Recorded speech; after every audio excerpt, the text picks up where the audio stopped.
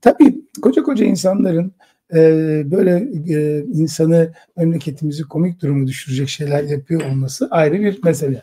Çakma bir. Şimdi çakma iki. Bu çocuk hakikaten yazık. Vallahi billahi yazık bu çocuğa.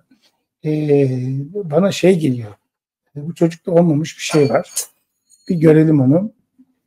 Evet. Bu da e, bir konvoyda bizim Özgür'den. Allah'ım ya Rabbim 1, 2, 3, 4, 5 benim görebildiğim e, çakarlı araç sayısı 10 tane falan.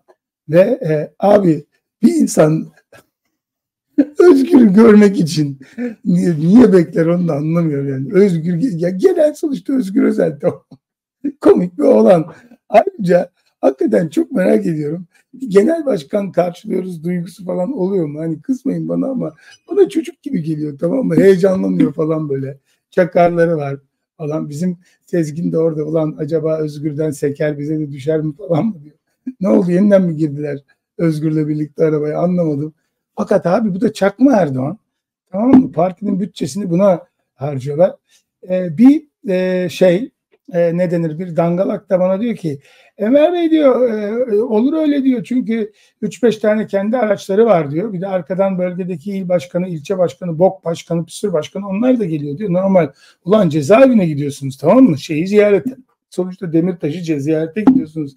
Sizi kim neden ne yapsın bu kadar şey. Ayrıca yani nedir Allah'ınızı severseniz şu şeye bakar mısınız? Bir de bir hep el sıkışmalar.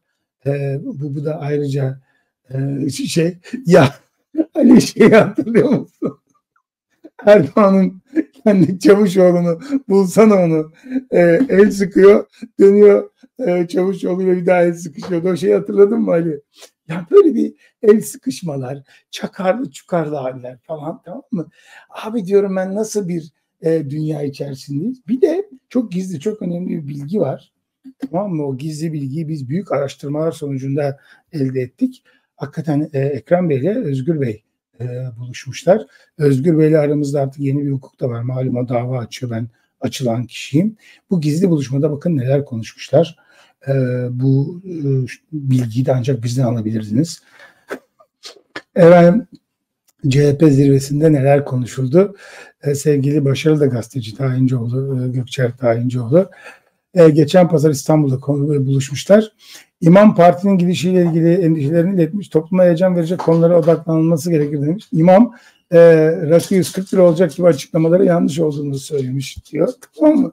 Abi bence Türkiye'de çok önemli bir e, kısım e, bu açıklamayı bekliyor bence. Çünkü bu memleket ayık kafaya çekilir halde değil. Millet para alamıyor. Şey, e, rakı alamıyor. Dolayısıyla herkesin şey olması lazım. E, en önemli madde bu. Bizim imam şeyin farkında olmadığı için bu arada hayırlı cumalar. Bugün cuma çıkışlarında açıklama yapılırlar.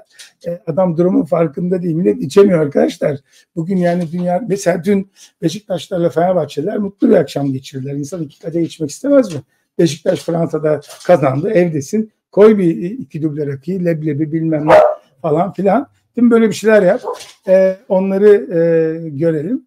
Neyse Fenerbahçe de Manchester United'ı perişan etti ama kazanamadık. Neyse şimdi bakın bu el sıkışma ile ilgili şahane bir e, video var. Benim gördüğüm zirve bu. Arkadaşlar kaybolmayın. Bir, bir göstersen onu.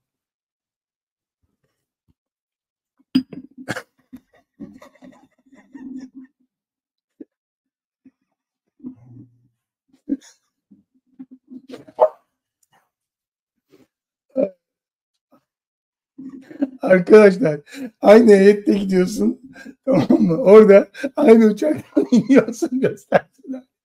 Abi o kadar kafalar nasıl kafalar bunlar bilmiyorum. Aynı heyetteler. Uçaktan iniyorlar. Millet birbirinin elini sıkıyor.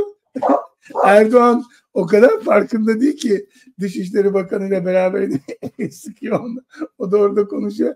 Erdoğan bir daha el sıkıyor. Bakın izleyin. Merhaba canım. Bak arkadaşlar. Merhaba canım. Çok güzel bu ya. Ay çok güldüm buna. Hakikaten bekliyor ama Erdoğan sık sık diyor. Böyle bir e, şey var. Neyse yani Türkiye'de işte böyle şeyler oluyor. O yüzden sizin böyle oturduğunuz yerde hayatınızın e, meselesinin ne olduğunu, ne bittiğini falan e, çok fazla kafaya da e, takmayın diye düşünüyorum. Çünkü e, mevzu bu. E, Özgür'le ilgili bir şey daha söyleyeceğim. Felsefe konuşacağız ya. Özgür'le ilgili bir şey daha söyleyeceğim size. Özgür dün bir açıklama yaptı. Bu Özgür'ün metinlerini kim açıklatıyor bilmiyorum. E, bana çok e, bu çocuk hakikaten komik geliyor. Diyarbakır'da e, demiş ki bugünkü şartlarda iktidarın karşısında konumlanarak siyasi kazanç ya da oy elde edebiliriz. E, Nur, Nurozo arkandan Dobi çok bağırıyor. Gözün seveyim çıkarken onu da al. Ondan sonra kusura bakmayın Dobi bırt bırt bağırıyor. E, ama biz tarihin doğru tarafında yer almak istiyoruz. Ya şimdi e, mesela bu lafı falan söylüyor. Büyük laf. E, büyük genel başkan falan mesela alkışlıyor ya. Abi mesela tarihin doğru tarafında yer almak istiyorsunuz. Tarihin doğru tarafında yer almak istiyorsan terazi çok basit olması lazım. Tarihin doğru tarafı Erdoğan'ın karşı tarafı. Yani tarihin doğru tarafında yer almak çok basit. Benim Kürt arkadaşlara da söylediğim şey o. Tarihin doğru tarafı neresi? Çok basit abi. Erdoğan'ın karşısında olduğu taraf tarihin doğru tarafı. Her koşulda. Çünkü 22 yıla bakarsın. Eğer bir yerde Bahçeli Cumhur İttifakı varsa onun yanında zaten yer aldığın zaman hikaye çöker. Yani e, farkında bile değiller. Tarihin doğru tarafıymış. Ulan daha tarihin nasıl doğru bir tarafını arıyorsun sen anlamadım ki.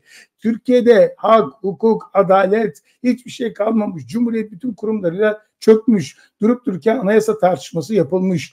Bebek cinayetleri organize örgütlü bir hale gelmiş. Sağlık e, Bakanı'nın hastanesi bu işin içinde. Düşün yani bütün bunlar var. Sen tarihin doğru tarafında yer alıyorsun. Benim korkum e, Özgür ve Mehmet Ali Çelebi gibi acaba bir sonraki seçimde o tarafa geçer mi? Bana ne ben istemiyorum artık yeter CHP'ciliği falan diyebilir mi? Merak ediyorum. Ama yani ben sana söylüyorum Özgür.